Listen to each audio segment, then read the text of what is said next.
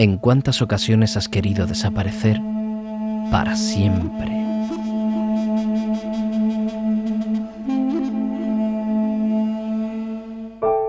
Pero por suerte, mañana volverá a amanecer y el nuevo día puede traer consigo un mejor enfoque de tu situación. Piensa en positivo. El momento es ahora.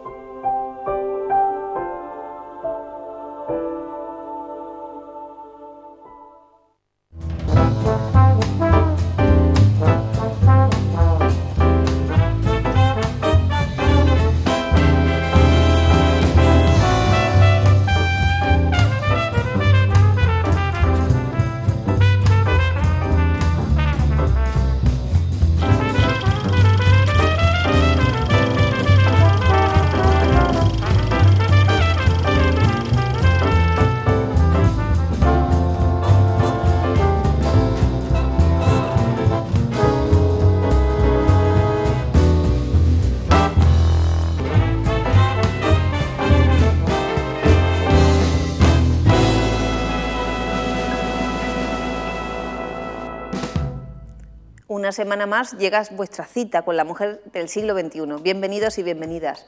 Con nosotros Laura López, psicoanalista de, la escuela Grupo Cero, y Elena Trujillo, también psicoanalista de, de la misma escuela. ¿Cuántas veces nos hemos planteado mm, situaciones de cambio o incluso nos hemos encontrado con la coyuntura sin comerlo ni beberlo de que tener que cambiar nuestra estructura de vida? Eso pasa muchas veces en la, cuarta década de la vida, alrededor de, esa mediana edad donde de alguna manera pues una ruptura sentimental, un cambio de trabajo, mm, una situación económica indeseable hacen que te tengas que plantear que ese modelo de vida, esa forma de pensar o de relacionarte tal vez ya no es válida. Cuántas películas, cuántos libros y, cuántas conversaciones no giran en torno a esta misma cuestión, qué hacer en esos momentos de la vida. Nos gustaría saber y compartir con vosotros esta reflexión de si, si necesariamente tenemos que pasar por una crisis y si de alguna manera es cierto esa idea tan negativa que tenemos al respecto de, los cambios. Como siempre, para comenzar y para de alguna manera cimentar lo que van a ser las bases del programa de hoy, contamos con uno de nuestros compañeros, psicoanalistas también de, Grupo Cero, que en la sección al diván nos van a plantear eh, el, dibujo de, esta situación de cambio que muchas mujeres viven en este momento de su vida. Lo primero yo creo que habría que aconsejar a, todas las mujeres eh, que están en un periodo de su vida donde haya, haya acontecido o vaya a acontecer un, cambio importante en su vida, ya sea por ejemplo en un proceso de separación o que los hijos eh, crezcan y tengan sus propias inquietudes o por ejemplo también que, cambiemos de profesión o que ahora en la crisis nos hayan echado del trabajo y tengamos que cambiar eh, nuestro modo de vivir. Todos esos cambios, eh, de alguna manera, los tenemos que pensar como posibilidad de crecimiento. Pensemos que ahora a la mujer lo que le toca es eh, ser dueña de su propia, de su propia vida. Sabemos mm, por la literatura o por la ideología dominante que la mujer eh, de 40 años, soltera o divorciada, ha tenido siempre un estigma ha sido pensada como, aquella mujer que está sola o aquella mujer que, está triste porque, no tiene un, marido, no tiene una, familia propia. Ahora tenemos que pensar en las puertas del siglo XXI que la mujer ha cambiado, la mujer está cambiando. Estamos viendo que hay muchas mujeres eh, que ahora eh, tienen 40 años y que son eh, grandes empresarias, que son grandes personas, que son grandes científicas. Después de que, de que acontece la crisis ¿no? a, esa, esa, mujer y que tiene la posibilidad, realmente toda crisis nos da, nos da la oportunidad de, crecer o de, o de no crecer. Normalmente cuando pensamos que tenemos la vida hecha, cuando pensamos que ya hemos eh, conseguido todos nuestros logros y de repente de un día para otro o en un lapso de tiempo eh, vemos que todo se derrumba, ahí es cuando justamente eh, es muy necesaria la ayuda de, un psicoanalista. Cuando eh, acontece el cambio y veo que no lo voy a poder gestionar, veo que me sobrepasa, veo que sigo queriendo aquello que me hace daño o aquello que ya no está, me he divorciado de la persona que, amaba, y han pasado 10 años y sigo todavía enclaustrada en lo que fue aquello. Para todos estos casos una ayuda psicoanalítica es esencial, cuando vemos que a pesar de que ha acontecido el cambio, porque realmente a pesar de que nos pensemos iguales a nosotros mismos o que la vida va a ser tal cual como la hemos imaginado, la vida es desequilibrio, la vida es eh, crisis, la vida es andar hacia adelante, la vida es dar un paso hacia atrás y muchas veces cuando creemos que está todo bien atado y atado, es cuando al perderlo nos va a costar un poquito más de trabajo eh, derrotar todas esas ideas y además construir algo nuevo, ¿no? porque lo interesante de cuando uno pierde algo, un ideal, un amor, eh, un trabajo, lo interesante es poder sustituir. El humano, la mujer tanto como el hombre, tiene la capacidad de sustitución de cuando pierdo algo voy a construir otra cosa nueva, voy a construir otra cosa diferente. De alguna manera, eh, también cuando veamos que, no podemos sustituir, que no somos capaces de dar un paso hacia adelante frente a esa situación de crisis, lo que vamos a tener que tener en cuenta o vamos a tener que usar es la herramienta del psicoanálisis. La terapia psicoanalítica de alguna manera em, aumenta esa capacidad de sustituir. Hay muchas veces también que, lo que vemos, esta oposición al cambio o esta oposición a hacer algo dentro del momento eh, de crisis, tiene que ver realmente con no despegarnos del pasado, no despegarnos de, lo que vivimos en el pasado, de lo que deseamos en el pasado, de las personas que fuimos en el pasado. Eh, toda crisis eh, lo que sí nos va a exigir de alguna manera es un cambio si queremos quedarnos en el pasado nos va a ser muy difícil afrontar ese cambio.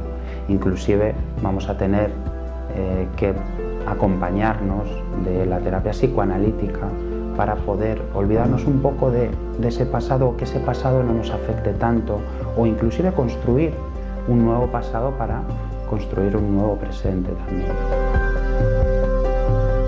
Laura, os traigo un aforismo cuando todo está destruido, la única posibilidad es poética. Hemos hablado mm, de cambios, cambios en un momento donde pues, en muchas ocasiones ya uno tiene la vida establecida, tiene pareja, tiene hijos, en muchos de los casos, en otros no, mm, empleo, digamos que tiene de alguna manera dibujada su realidad. Y ocurre que, ese dibujo que, uno tenía mm, ya no va más, ya no sirve. Algunos de los elementos de la ecuación, de la ecuación han, desaparecido o ya no se presentan como válidos. Por ejemplo, tu marido te dice que ya no te quiere, que, que tiene a otra persona a la que desea y que quiere finalizar la relación. Es uno de los ejemplos que en muchas ocasiones pasa, como muchas mujeres lo viven como la debacle, como mm, si la vida se acabara en ese momento. Es que yo creo que que cada uno tiene una manera de pensar y conforme a eso hace, hace su vida. Entonces, eso que estabas comentando de que te detienen ¿no? y que, te ocurre algo en tu vida que te cambia radicalmente, es interesante, pero yo creo que hay que vivir un poco, tal vez, si, si me lo permite, pues pensando que todo no va a ser eterno, que, que, no somos inmortales y que hay cambios en nuestra vida que tenemos que adaptarnos, no podemos conformar con quedarnos con todo muy estructurado porque eso es imposible, algún cambio va a haber en nuestra vida. Bueno, no solo algún cambio, toda nuestra vida, desde el momento del nacimiento, es precisamente cambio, adaptación, aprendizaje de lo nuevo y, de alguna manera recomponer esos conocimientos y esas habilidades ya adquiridas, recomponerlas con eso nuevo. Nos ocurre las mismas relaciones eh, personales, donde lo que me ha servido para una persona no me sirve para, para otra. Sin embargo, fíjense cómo, somos en la mayoría de las ocasiones y también por, esas características mismas de nuestro aparato psíquico, donde existe una parte fundamental y determinante, sobredeterminante de nuestra forma de ser, que es el inconsciente, como lo desconocemos de alguna manera por, justamente las características del aparato, pues nos creemos que existe una imagen de nosotros, una imagen de nuestra realidad, como si lo pudiéramos entender, como si pudiéramos definir lo que somos o lo que vivimos. Sin embargo, luego, si tenemos eh, en cuenta un cierto distanciamiento de, esa opinión, de ese parecer, las cosas nunca son como, como creíamos y nos damos cuenta, por ejemplo, pues con, estos momentos de ruptura o de cambio, que lo que creíamos que funcionaba, o al menos nosotros queríamos creer que funcionaba, pues no, no iba, no, no, no, no servía para, para, el futuro que se presenta. Claro, pero yo creo que muchas veces también es que el querer tú aferrarte a, a formas de pensar anteriores que ahora no te sirven porque digamos que muchas veces cuando se rompe algo en tu vida a veces es necesario, pero otras veces porque tú quieres ser igual a ti mismo siempre. Y a veces no dejarte llevar, crees que todo es rígido, todo es estructural, no dejarte llevar por la vida te hace a veces mm, llegar a situaciones en las que es complejo. Claro, pero el pensamiento común, mm, digamos la moral habitual y, en la cual pues de alguna manera todos nos, desenvolvemos y nos, educamos, en ella es eh, no dejarte llevar, de alguna manera a circunscribir tus deseos, tus impulsos. Te dicen, no seas impulsivo, piensa antes de hacer, eh, como si quisiéramos dar una imagen al otro ya definida y con las cosas muy claras.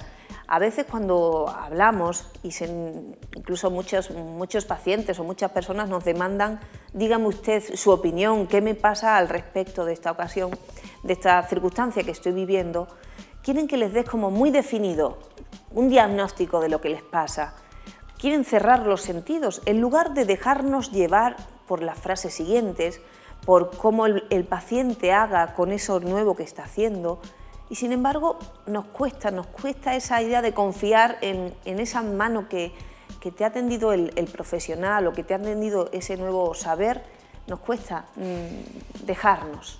Sí, yo creo que sobre todo también es querer romper con la moral, con lo que supuestamente está hecho en la sociedad, lo que hablamos de los 40, ¿no? lo que supuestamente debe llegar mi vida cuando yo tengo los 40. Es que romper, Laura, si uno dice romper, cuando a veces, recuerdo cuando hablábamos aquí de, la familia, la vez pasada hablábamos de, de tener que romper los lazos familiares y, y yo le comentaba a Miguel, romper es un poco fuerte, para el que escucha, porque a veces eh, la idea que uno tiene es los abandono y no se trata de abandonar la vida que uno tiene o las relaciones que uno tiene. Si, aprenden algo con, este programa es que mm, tiene que ver más esa frase con lo simbólico, con cambiar de pensamiento, con cambiar algo en mi posición con respecto a esa otra persona a la que yo le atribuyo una forma determinada de relacionarse conmigo, cambiar algo ahí es más revolucionario que abandonar las, relaciones o tener que buscarnos un, nuevo marido o un nuevo trabajo en el que luego reproducimos lo mismo, porque sin un trabajo sobre nosotros mismos, ese cambio ideológico no se produce.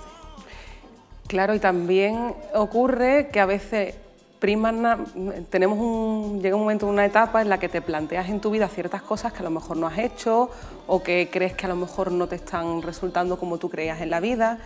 Entonces llega un momento que hay un conflicto entre el deseo, lo que tú quieres y, las relaciones que tienes conformadas o el trabajo que tienes que no te gusta o que te falta. Entonces llega ese momento en el que tú tienes que transformar un poco eso que decíamos de, romper o abandonar, no es tal así, sino que es abandonar tu forma de pensar y construir una nueva para que puedas incluir todo eso en tu vida. Pero lo vemos eh, a diario en las consultas. De alguna manera, en lugar de que el hecho de hablar estar ya en la consulta del psicoanalista, en el diván, es una forma de demandar un cambio, de, estar en ese camino de construcción del crecimiento, la demanda que, uno cree como tal es demando que tú me des lo que yo necesito. En el amor también nos, suele pasar que, que pedimos que el otro nos dé esa satisfacción o esa felicidad que yo anhelo y que luego sabemos que es imposible alcanzar nunca y que muchísimo menos el otro te la puede dar, sino que es un trabajo de cada uno de nosotros labrarnos y conseguir algún instante de felicidad o conseguir algún conocimiento. Es más, en, la educación se dice, educar es imposible, es una tarea imposible, pero sí es posible aprender. Por tanto, el alumno, gracias al profesor, puede aprender y el profesor está en el camino de ponerle los medios al alumno para que aprenda, pero no puede obligar al otro a que aprenda. Es, en un manejo de fuerzas donde no somos aislados a nuestra realidad, ni tampoco la, podemos leer directamente, sino que estamos muy afectados en, cómo la leamos, en cómo nos sintamos, pues por nuestros afectos y por ciertos aspectos de nuestra ideología. Vamos a seguir ahondando esto, pero tenemos un vídeo muy, muy importante porque es el asesor más importante de la mujer del siglo XXI, es Don Mejor. Queríamos tenerlo con nosotros y de alguna manera eh, va a ser el hilo conductor de, esos aspectos que, como mujeres a veces no tenemos en cuenta. Queremos saber los consejos que Don Mejor le da o nos da a las mujeres que en un momento de nuestra vida tenemos que, que plantear algún cambio.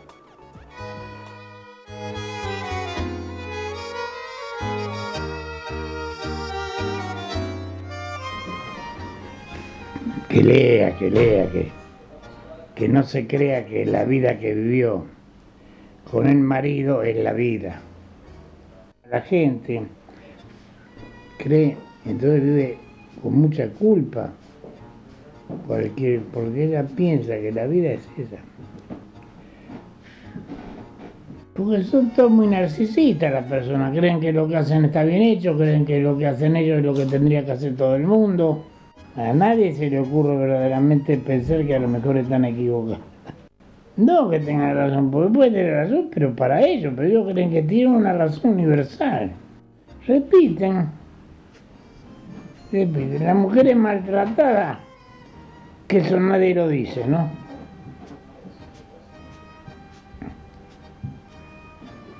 Que cuando cambian de pareja vuelven a caer en manos de otro maltratador. Es inconsciente, el psicoanálisis es una ciencia. Debería usarse el psicoanálisis en esos casos. Muchas mujeres que, que dicen, que documentan, que en realidad que el marido no era un maltratador, que ellas lo fueron transformando en un maltratador. ¿Y por qué se quedan? ¿Por qué se quedan después del maltrato 120 con el marido? Si curamos a todos los masoquistas, se acabaron los sádicos. Pero mientras haya masoquistas, va a haber sádicos. Las mujeres a veces son muy sádicas, someten de esta manera, de aquella manera. Porque hay un chiste que dice, ¿no? Pégame. Y el sádico le dice, no te pego. Hemos escuchado don Mejor, sus consejos, y tomo uno de los aforismos de Miguel Oscar Menasa. Se ama la cárcel cuando se está en ella y luego se ama la cárcel cuando ya se está en libertad, porque siempre hay en la cárcel alguien que nos recuerda. Hablaba de esos consejos necesarios. En, un momento de cambio hay que trabajar, hay que leer, hay que dejarse llevar, como, como decíamos antes, pero a veces no nos damos cuenta. Por ejemplo, situaciones en las cuales, como en el caso del maltrato, tan frecuente hoy en día y sin embargo una problemática tan difícil de, abordar, en muchas ocasiones eh, no solo el, maltrato tiene que ver con, la lesión a, tu pareja o a la persona de la que esperas apoyo y comprensión. En muchas ocasiones simplemente no tener en cuenta al otro, un mal gesto, o ignorar lo que la otra persona te comunica también es una forma de una mala o malísima convivencia y que a lo largo de los años pues te va generando un, malestar, una pérdida del amor propio, porque de alguna manera es como que eh, esas personas en las cuales uno se apoya y que, de alguna manera podrían ser ese, epicentro para crecer, pues justamente son lo contrario. Pero muchas mujeres no se dan cuenta de, que esto pasa. Existe ese pensamiento común de más vale malo conocido que bueno por conocer. Decía el doctor Menasa, también hay que reconocer cierto masoquismo o cierto cobardía en las personas que, no se deciden a, poner un punto y final frente a algo de sus vidas. ¿no? Sí, a veces también ocurre que, que hay personas que tienen un tipo de relación y vuelven a repetir lo mismo con la siguiente. Y yo creo que hay una frase popular que dice mucho de esto, cuando se habla despectivamente de una, tanto de una mujer como de un hombre y se dice que tú estás de vuelta, ¿no? Y se refiere un poco a eso, aunque tú estás tratando a esa persona igual que tratas en la relación anterior, entonces no la has sustituido, estás incluso dando rienda suelta a todo tu odio, todo, todo lo que te ha ocurrido con esa persona con otra. Fíjate, en ese punto me, has hecho acordar mm, de algunas películas que, hemos visto, ¿no? por ejemplo ese Club de las Primeras Esposas, donde varias divorciadas se reúnen para vengarse justamente de sus maridos, o tenemos eh, series como Sexo en Nueva York o, muchas otras eh, del, cine y de la televisión, donde se muestra eh, de alguna manera un, reflejo de, de hostilidad de las mujeres hacia esos hombres que no han sabido amarlas o que ya no las aman como, como, antes y han decidido poner un punto final, muestran ese rencor, esa incapacidad de, amar lo nuevo, de adaptarse y también muestra reacciones habituales en, bastantes mujeres, como por ejemplo, pues bueno, para digamos hacer un, despliegue de, la feminidad, como si ahora pues quieren ser más atractivas, empiezan a hacer cosas que antes no hacían. Y yo me preguntaba, si de alguna manera, y, tuvimos en la temporada pasada a nuestra amiga Regina Román, que, bueno, no solo está haciendo una, serie en internet que se llama Cuarentañera, sino que también ha publicado títulos literarios al respecto de, la temática. ¿no? Es decir, que no es una cuestión aislada, pero mm, ¿por qué, ¿por qué se produce este fenómeno tan estandarizado en muchas mujeres y si verdaderamente responde, responde a yo cambio mi forma de ser y me siento más joven o nuevamente eh, caigo en mi trampa de, vale, vuelvo a empezar a ver qué, vuelvo a hacer, como si necesitara eh, buscar lo mismo que tenía en mi realidad y ya una vez que tenga lo mismo, vuelvo a hacer, hacer lo, que ya hice, ¿no? Sería un error si no, si no cambio nada de mi forma de pensar. Claro, yo pienso que ha cambiado mucho las relaciones de las mujeres eh, a partir de los 40, porque antes uno se casaba para toda la vida, como quien dice, y ahora vemos que hay muchas realidades muy diferentes. Y eso se refleja muy bien en la serie de televisión. Vemos que está la ama de casa, la que es más liberal en el sexo, la que nunca se quiere casar con, con una nueva pareja, la que vive de una manera determinada.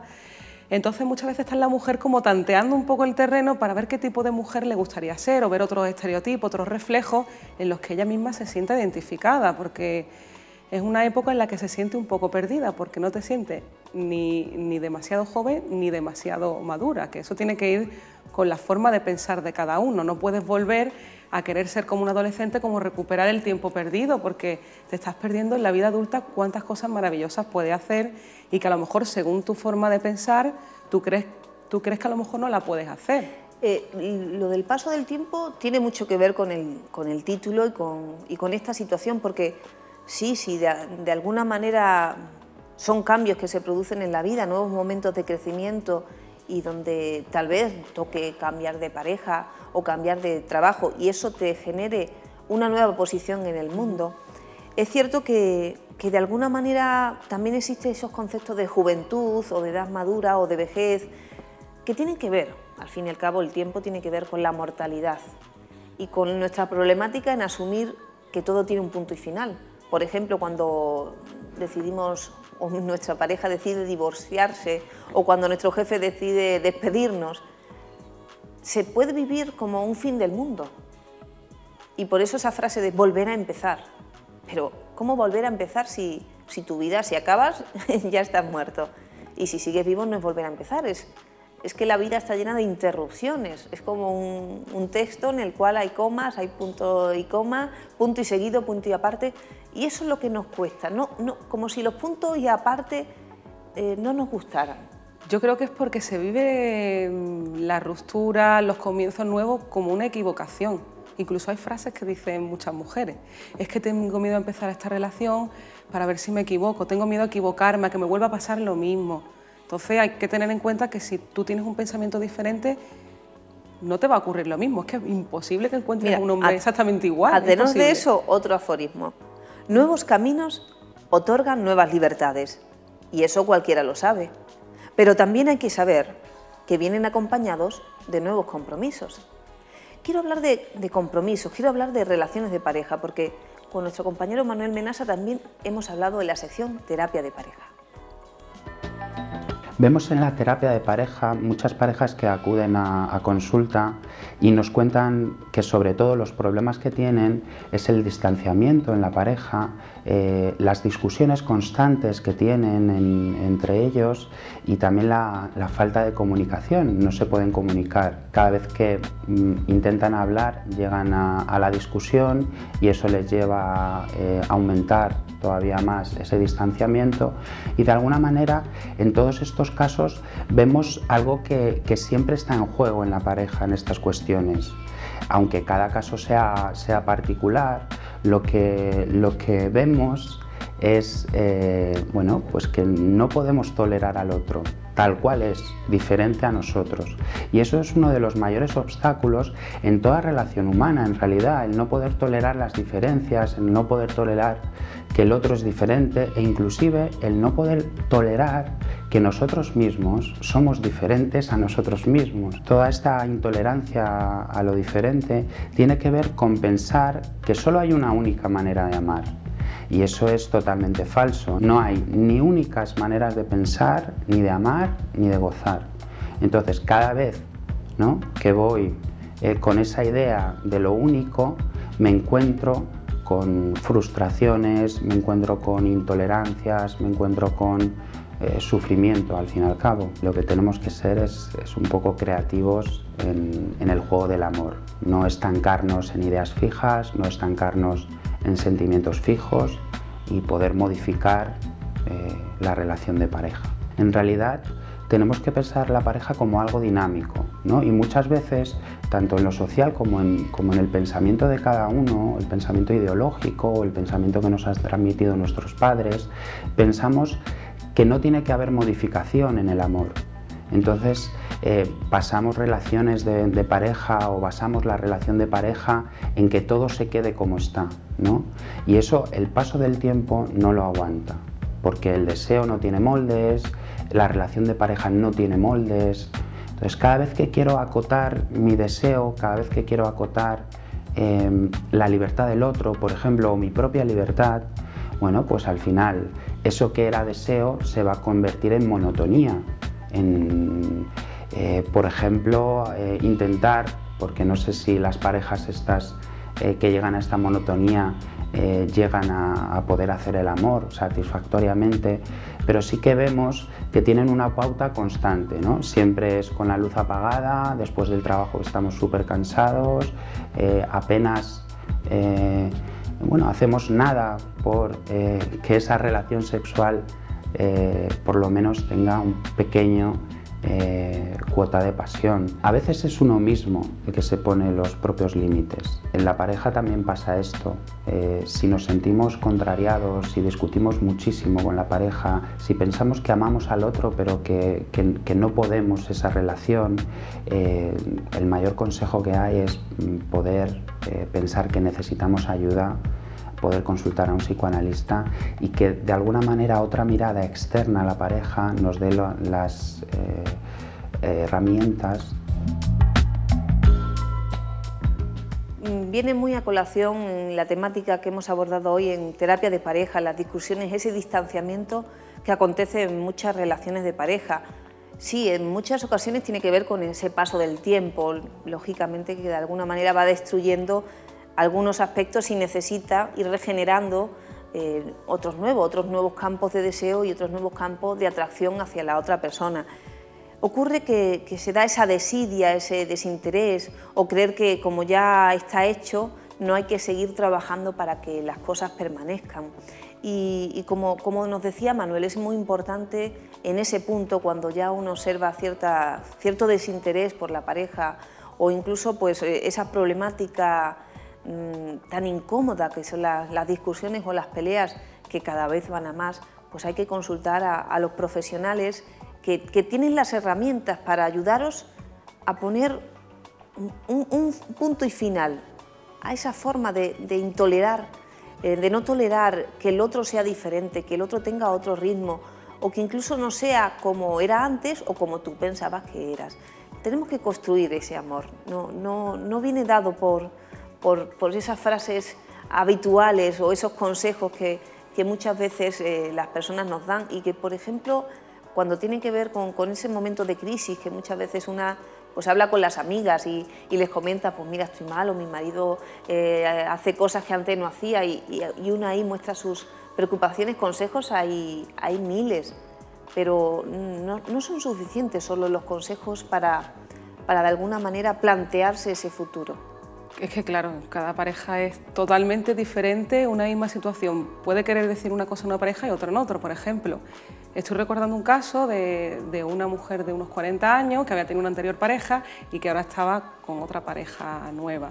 Entonces ella se estaba planteando tener hijos y estaba viendo que, su pareja pues estaba un poco desganado, eh, había cambiado mucho los hábitos y entonces ella tenía miedo a hablar, eh, la situación estaba llegando a un punto en el que tenía un distanciamiento total y tenía miedo a hablar por miedo a ser abandonada, porque ella creía que era una etapa de su vida que ella tenía que tener familia y ese era el hombre que había elegido. Y si no es ese hombre, ya no podía haber otro, porque ya tenía 40 y algo. Por la edad simplemente, claro, Por la edad simplemente. Entonces se callaba y llegaba a una situación en la que ella misma le estaba afectando anímicamente a ella y a su pareja, lógicamente. Claro, es interesante ese, ese caso que planteas porque habla de los miedos, porque más allá de que uno pueda sentirse más capaz o incapaz de afrontar estos cambios en este momento de la vida, que como ya comentaba al principio, durante toda nuestra vida vivimos múltiples cambios y ahora deberíamos estar más preparados para ellos que cuando éramos más pequeños y más inmaduros, es cierto que, el temor a la soledad o el temor a, que uno tenga que plantearse algunas cosas o incluso el temor a trabajar, que muchas personas que a lo mejor el trabajo se lo toman como un hobby y no como una necesidad de ganarse la vida, una forma de asentarse en su, en su tiempo y de dejar las marcas de lo, cómo he sido y qué, he querido hacer. Como si no quisieran dejar marcas y más bien montarse en esa, en esa imagen de familia.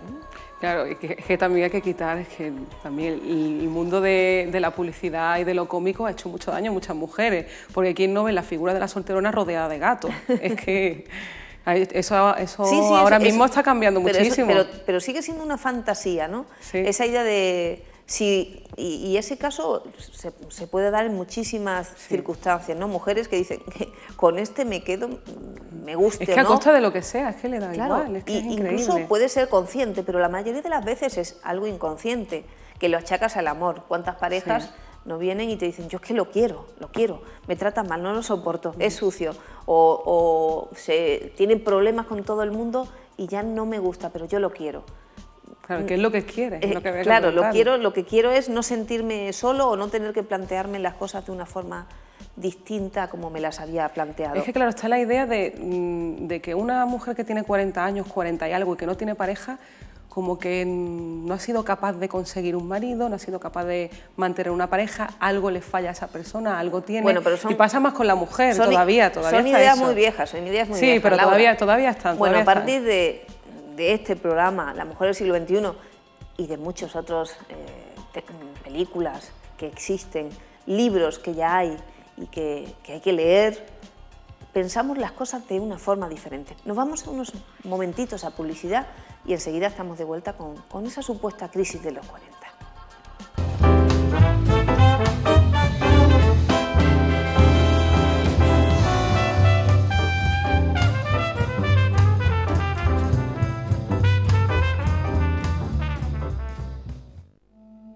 Cuántas ocasiones has querido desaparecer para siempre?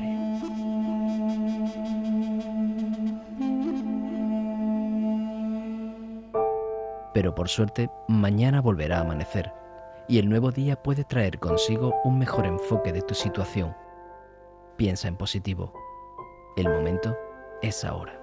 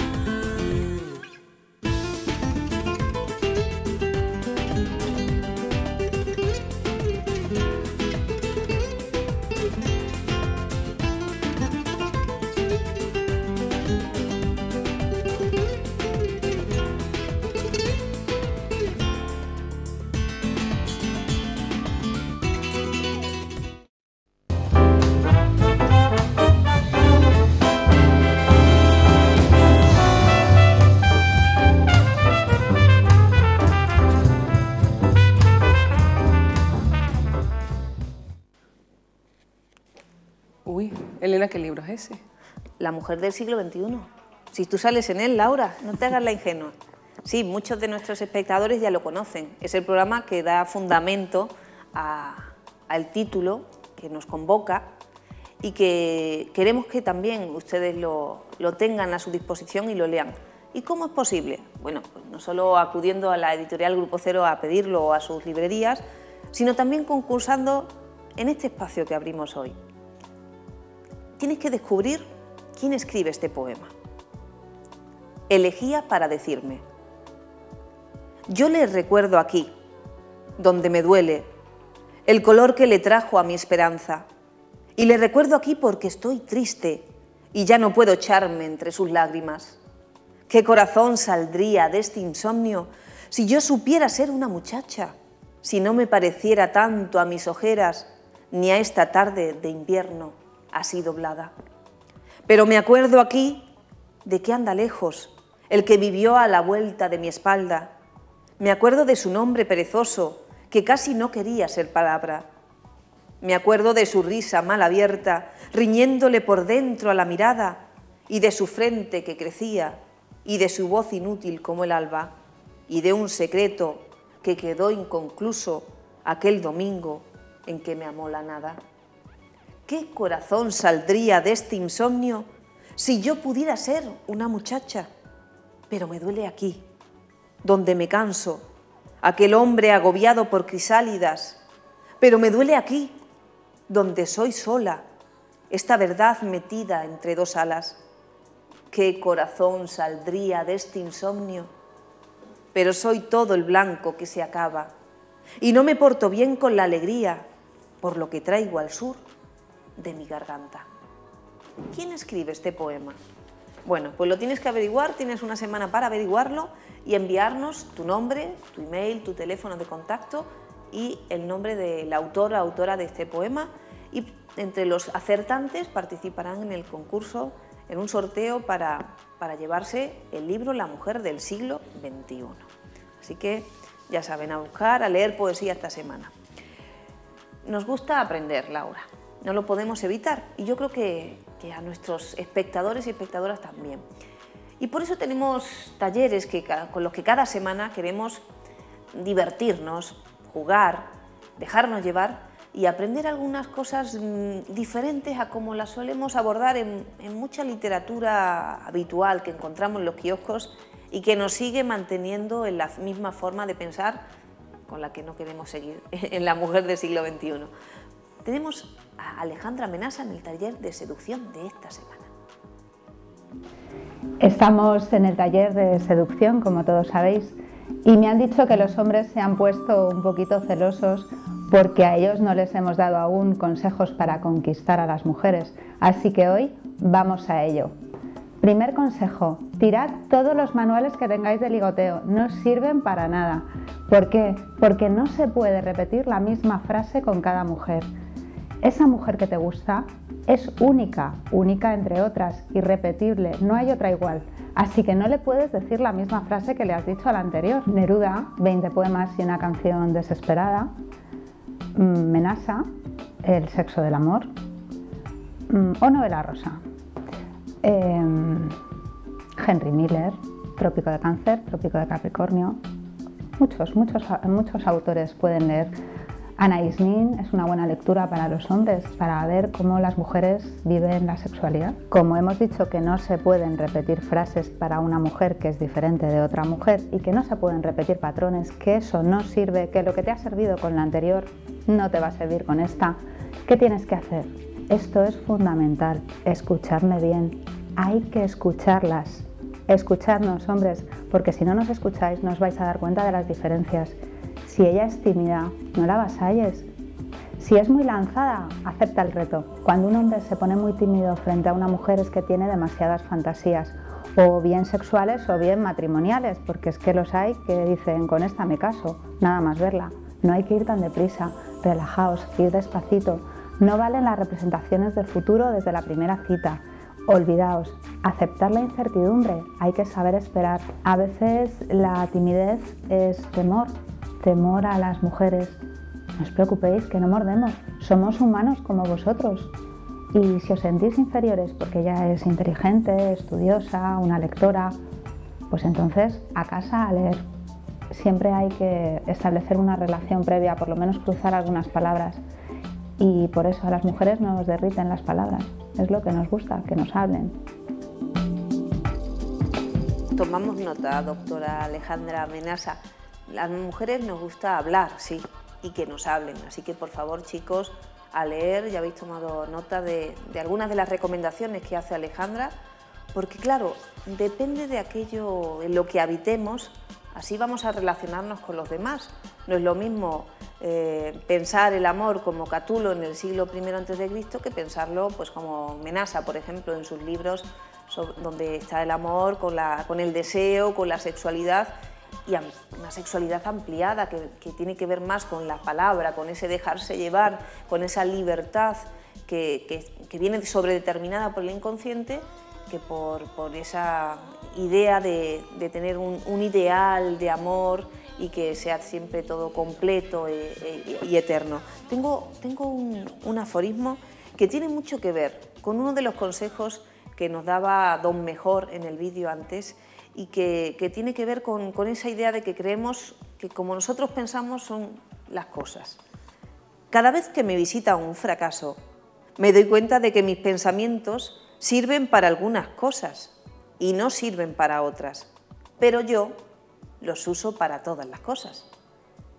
Y es, ¿no? tiene mucho que ver con esa idea de que tenemos que aprender a ser más hábiles de lo que somos. Sí, además que se me ocurre también que en terapia de pareja lo vemos mucho, porque eh, tal y como yo pienso mi manera de relacionarme o mi manera de vivir, eh, confundimos la palabra empatía y como que nos ponemos en el lugar del otro, pero con mis mismos pensamientos. Entonces, por ejemplo, si hay una escena de celo eh, y él tiene la fantasía de, de estar, mm, por ejemplo, que le ha venido el deseo de estar con una persona del trabajo, ella a lo mejor está más distante y él piensa que ella está poniéndole los cuernos, si así me dicen, con otra persona, cuando en realidad eres tú el que lo quiere poner o el que lo desea. Eso me recuerda al libro La mujer y yo de, de Menasa, que es todo un viaje a través de las relaciones eh, distintas de pareja donde se despliega el deseo femenino. Muchas veces los hombres nos piden consejos, cómo, cómo me entiendo con mi mujer o cómo conquisto a una mujer. Es que ese es el problema, que se quiere tender a entenderlo conforme tú crees que es o conforme tu forma de pensar. Y así es que estamos hablando en lenguajes completamente diferentes. Claro, cuando lo que hay que es eh, forjarse un espíritu en uno. Eh, me explico. Lo que tengo es que aprender a, tener eh, nociones, a tener, a construir tu aparato psíquico, que es el detector absolutamente preciso de lo que el otro es y necesita y si uno trabaja esa, esa, apertura al, mensaje que el otro nos da, es mucho más fácil que yo le pueda responder conforme a lo que el otro necesita o desea.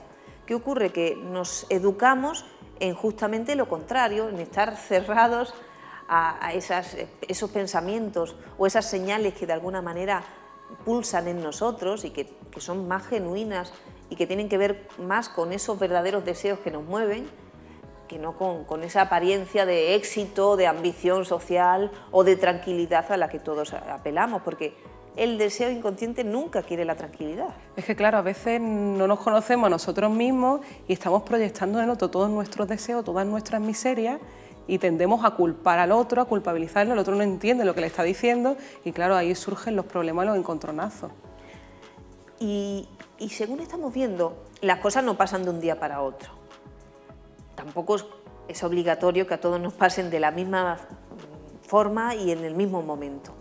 Uno puede atravesar esa, edad de la vida sin ningún tipo de problemática, porque ya toda su vida es cambio, toda su vida es adaptación, porque nunca piensa las cosas con, pensamientos anteriores, sino que siempre dejo que, que, sea esa demanda de la realidad la que me haga hacer. Por tanto, es como una página en blanco que yo estoy escribiendo constantemente. Pero hay otras muchas personas en las cuales quiero tenerlo ya todo planeado, predefinido y quiero responder conforme a ese modelo a la realidad. Vas a matar el deseo, pero vamos. claro, hay muchas personas que son así. El plan, el plan del fin de semana, el plan del año. Vamos a tener un hijo con 33 años. con 35 tenemos el segundo. Y luego quiero que las cosas sean así. Claro, mm, vamos para abajo sin freno. Así no se puede vivir. Hay otro aforismo que, que quisiera leeros. Todo es monogámico en mi vida. Sobre todo porque no- el que no cambia nunca es el yo. Yo y el mundo, el mundo y yo, yo y el mundo, el mundo y yo.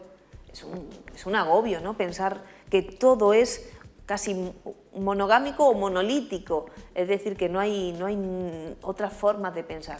Lógicamente es fracaso asegurado si vamos así por la vida, ¿no? Claro, eso como se toman las cosas como algo personal. Alguien hace algo y siempre lo están haciendo para ti, dedicándolo a ti, por ti, para ti. Y eso, manera de pensar, pues...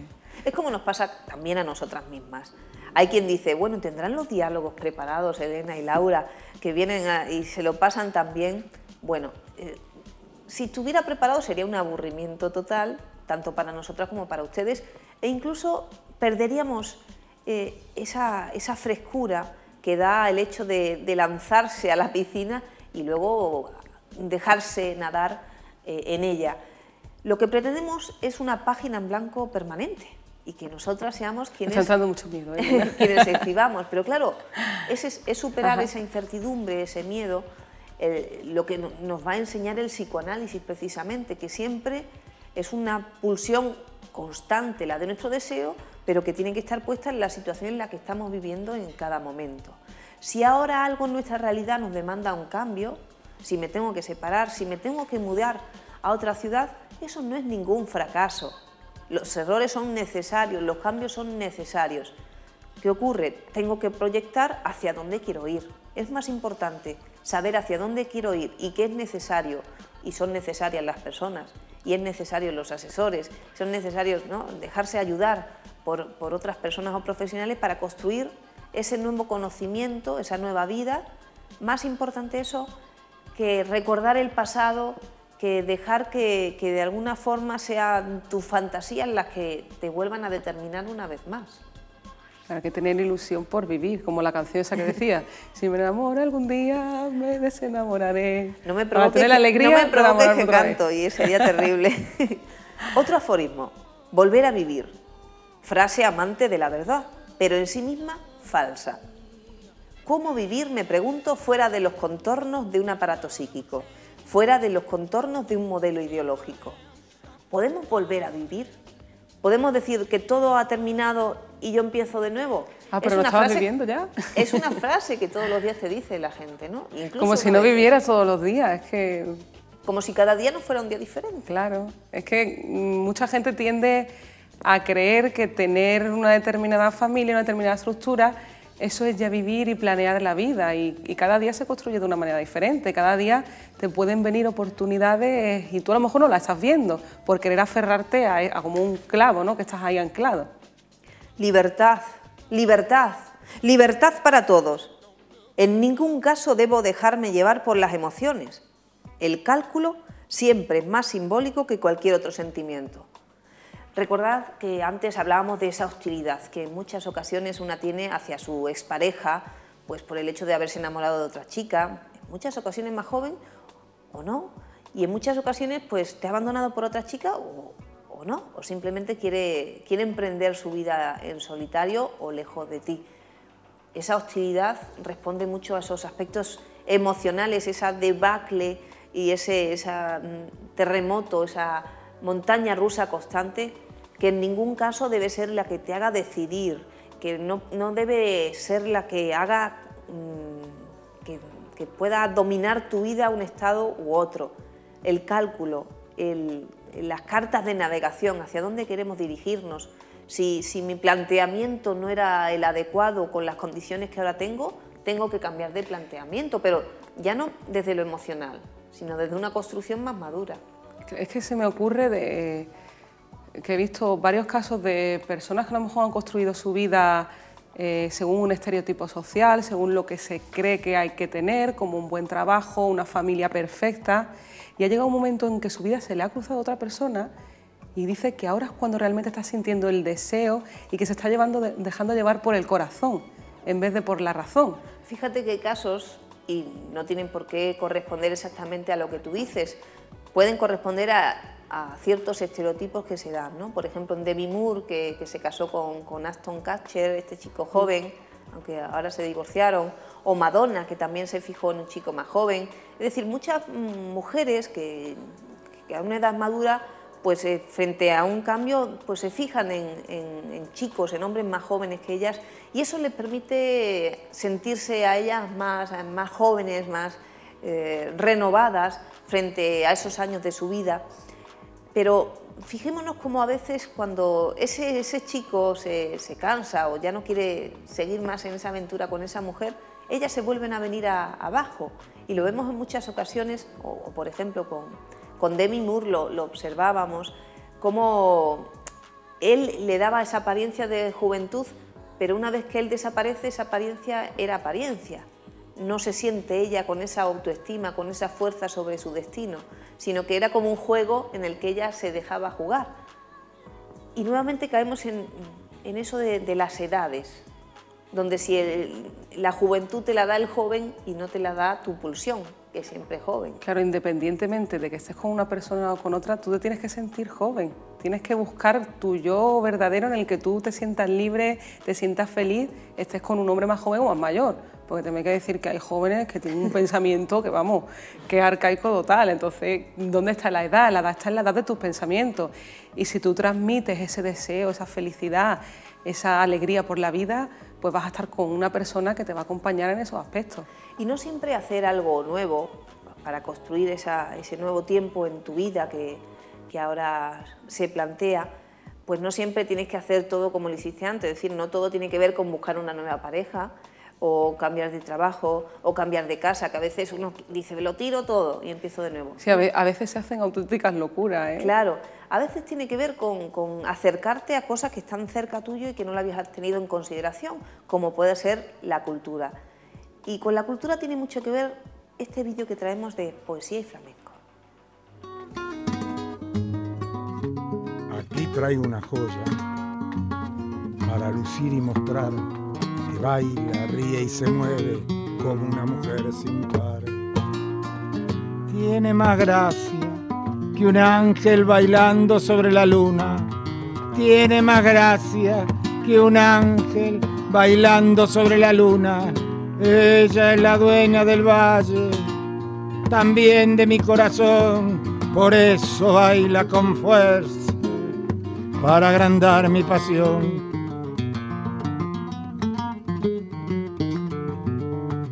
Cuando estoy distraído y la quiero abandonar, ella retoma la danza con tanta fuerza y bondad que yo no puedo siquiera comenzar a caminar. Cuando abandono mis ganas de quererme liberar, ella se pone contenta y me abraza en el bailar. Y la ternura le llena el rostro también las piernas. Y yo caigo derrotado frente a esa mujer sin par. Caemos derrotados frente a la belleza, a la fuerza, a la pasión de ese baile y de ese poeta que, que nos, nos están trayendo el flamenco de una forma muy diferente. De lo que se trata y viendo este vídeo se me han ocurrido una serie de palabras que yo creo que son las con las que nos tenemos que quedar para luego combinar cada uno de nosotros y nosotras de forma diferente. Fuerza, pasión, palabras, destino, trabajo, compromiso, amor, dinero, sexo, compañerismo. ¿Acaso podemos construir nuestra vida nuestro futuro sin esto? Yo creo que, que no es posible, que si lo construimos con estos ingredientes vamos a tener un, una vida más, más apasionante y más, y más plena y de alguna manera en ese dejarnos caer a veces por, por, por, ciertas desilusiones nos volvemos a levantar porque se trata de eso, de aprender a levantarse. Sí, y que para ilusionarse uno se tiene que desilusionar también, es necesario. Exactamente, entonces uno de los elementos de, del psicoanálisis es no tanto ocuparse del pasado o del marido que te ha dejado o de, afrontar o la gente viene como para elaborar la pérdida, no, lo que tenemos que elaborar es el, paso futuro, el trabajo futuro que tenemos que hacer por las cosas. Una mujer libre, sana y fuerte también puede construirse, finalizar, romper para empezar, para construir. Tenéis que contar con, con la realidad que tenéis, en esa realidad está el psicoanálisis, tenéis que dejaros ayudar y la única manera es empezar ayudándoos a vosotras mismas.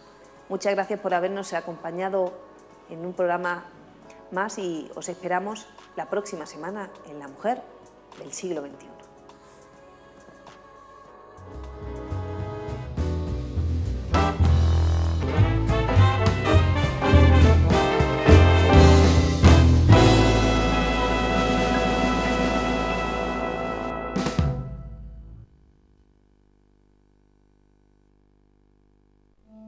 ¿En cuántas ocasiones has querido desaparecer para siempre?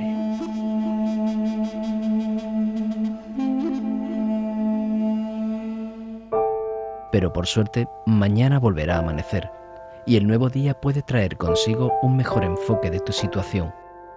Piensa en positivo. El momento es ahora.